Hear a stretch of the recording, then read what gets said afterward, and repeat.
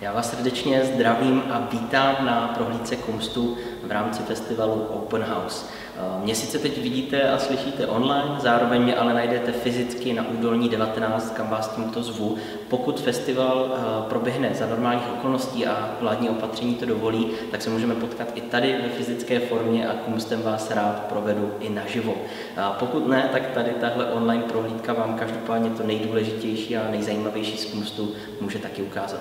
Moje jméno je David Severa a jak už Tyko napovídá, tak pracuji v kumstu, pracuji tu jako komunitní kurátor takže se starám především pro zasídlené členy, pomáhám jim v oblastech rozboje kreativního, kulturního podnikání a celkově se starám o určité aspekty chodu toho místního, místního domu.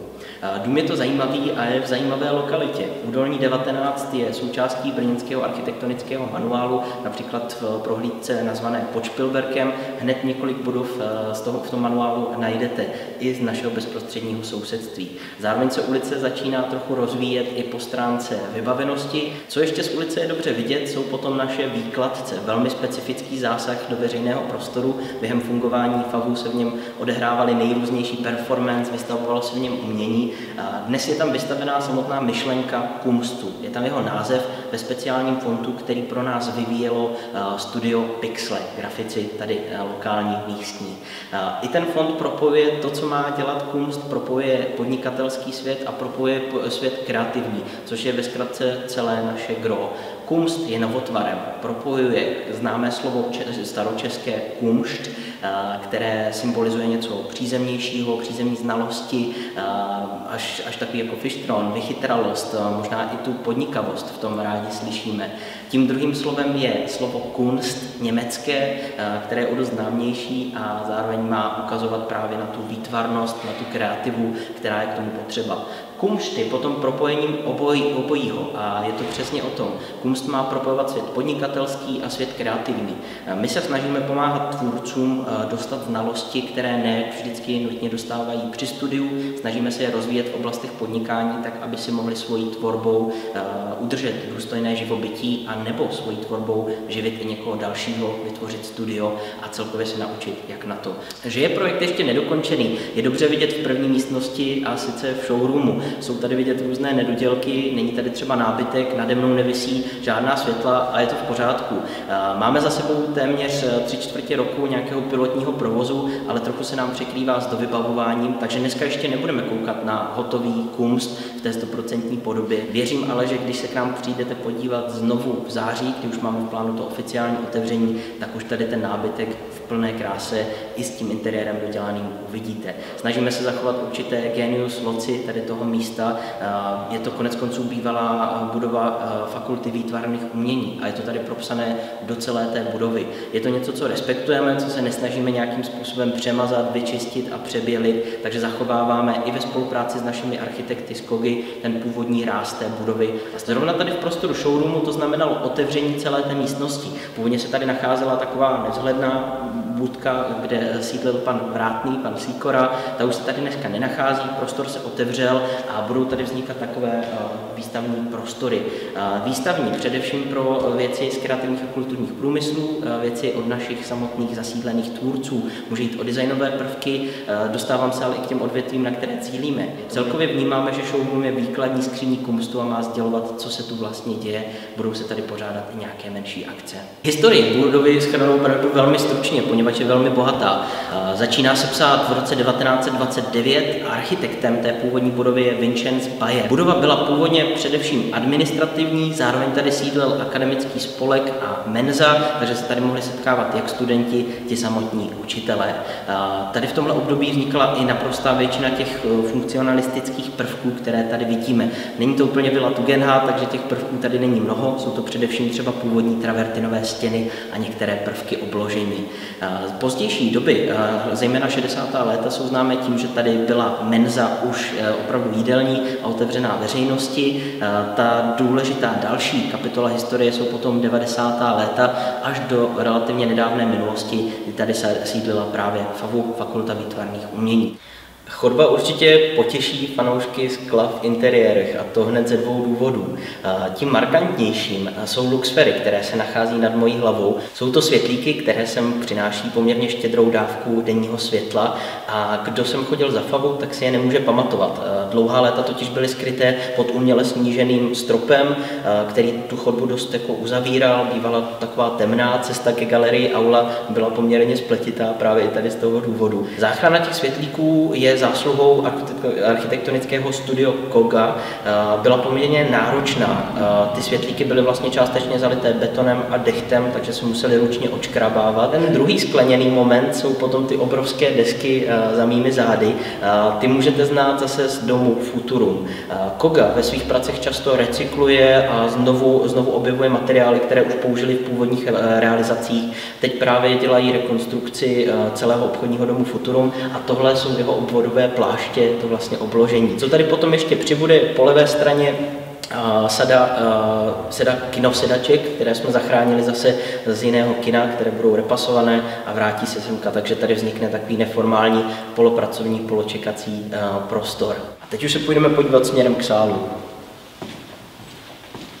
Asi nejvíc jsou kontrasty mezi novým a starým vidět tady v předsálí kde se vlastně mezi sebou potkává, vedou dialog hm, třeba nábytky od vitry nebo Master and Master, perfektní designové kousky a původní zásahy studentů tady do toho prostoru, jako je třeba topení Jesus is inside, you can feel him. Stejně tak detaily na dveřích stále zůstávají, jenom se na ně nalepila pomyslná třetí vrstva a sice naše piktogramy, které to celé balí do našeho vizuálu.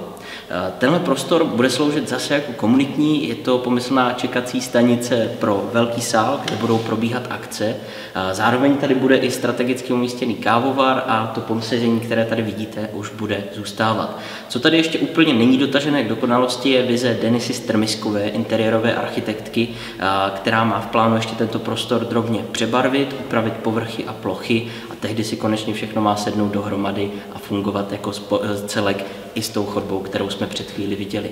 I tady došlo k odhalení těch původních světlíků, takže celý prostor, který původně byl docela takový zabedněný, eh, se odzdušnil, je tady spousta přirozeného denního světla a myslím si, že to bude rozhodně to příjemné místo na posezení s kávou právě při čekání na některou z těch akcí. V spodním patře se nachází ještě dva zajímavé prostory. Za mnou se právě formuje nové nahrávací studio. Tam přesouvá vydavatelské studio Mycroft Records. Tím druhým zajímavým prostorem je potom samotný velký sál, ten vůbec nejvýraznější prostor, který tu máme, velmi puristický, čistý, tam nejvíc vyniká ta původní architektura 30. let minulého století. Prostor má nádherné světlo a úplně mizernou akustiku. Plánujeme s tou akustikou něco dělat, už v těch 30. letech ji měli ale docela dobře vyřešenou. Původně byly totiž stěny obložené uh, dřevem a na tom předním štítu se nacházelo, uh, nacházely takové speciální závěsy, které za sebou navíc skrývaly promítací plátno. Později to tedy byla především galerijní, je známá jako galerijní prostor právě pro studenty fakulty výtvarných umění, která tady sídlila v průběhu 90. let až relativně do nedávné minulosti. A vystřídali se tady třeba jak výstavy prací umělců, tak třeba práce legendárního Woodyho Pašulky, právě také v tom velkém prostoru. My máme v plánu trošku méně kulturní program, i když kultuře ten prostor otevřený určitě je. Z naší strany to budou ale hlavně vzdělávací akce v oblasti podnikání a konkrétně ten sál budeme využívat hlavně na přednášky, workshopy, ale také setkávání. Zajímavým prvkem ještě v sálu jsou potom opět travertinové stěny. Krásně vyniknou v tom hlavním sálu. Myšlenka Denisy Strmiskové je spíš zdůraznit tu samotnou barevnost toho travertinu, takže ta, ta barevná škála toho sálu potom bude velmi tlumená, minimalistická a opravdu hlavním prvkem by měly být ty travertinové stěny. Z vůbec prvních nájemců nebo členů Kunstu jsou uh, vizuálové, nebo taky je možná znáte skrz jejich značku Prototyp, která označuje obrovský, krásný multimediální festival, který chystají. Uh, kluky z vizuálu znáte především díky velkým, docela megalomanským projektům. No, my jsme se na to těšili už dlouho, protože jsme o tom projektu dlouho dopředu věděli. A, a tím, že nám klapl ten prostor, který jsme si vysnili, že chceme mít, tak jsme se do toho pustili s radostí. Sice jsme tady tři týdny makali non-stop, ale nějak jsme si to udělali k obrazu svýmu ten prostor. Na co jste nejvíc pišní? My jsme pišní nejvíc na tu komunitu, která tady jako vznikla a je to barák, který je nabitý těma kreativcama, umělcama. Už jsme stihli udělat i nějaký uh, projekty vlastně tady se sousedama a těšíme se, co ještě jiného vymyslíme. Jo, určitě. Honza tady před natáčením zmiňoval, že jsme si ten prostor zaměřili a než dojel domů, tak já jsem vymodeloval ve 3D ten prostor. Nějak jsme si to odsouhlasili a nakoupili jsme si vybavení a nějak jsme si to tady vybavili. No. Um, tak tady v Brně určitě lidi zaznamenali Teralonu a Lunalon, což jsou obří nafukovací modely Země a Měsíce. A třeba teďka na Vánoce jsme pro TIC dělali na Brněnský Vánoce velkou takovou multimediální hvězdu, která se stala jako součástí Brněnských Vánoc. Tak festival Prototyp je festival, který spojuje vědu, umění a technologie. A my jsme tam v roce 2014 vystupovali jako umělci a holky, které to předtím pořádali, jak to chtěli někomu předat, nějak se spojili s náma, že my jsme asi ti vhodní, kdo to mají převzít a od roku vlastně 2018 ten festival pořádáme eh, s dalšími lidmi. Takže to je taková naše nezisková aktivita, ale eh, baví nás a chceme ji prostě posouvat někam dál. Teď už se nacházíme v posledním čtvrtém patře Kumstu, nacházíme se v tom nejpankovějším patře. Grafity vidíte za mnou i tady na stěnách, nad náma jsou kolejnice, ve kterých je vedená elektřina, která není rozvedená do místností a sami ti členové si ji potom dál rozvádějí. Ani tohle ty členy neodradilo k tomu, aby tady vznikaly dost zajímavé projekty. Jedním z nich je podcastové studio Vokal, které je vůbec prvním podobným studiem tady v Brně. A teď už se budeme podívat za nimi dovnitř. Bavím se tu s Lukášem, který má na starosti spolu s kamarádem Ondřejem podcastový studio.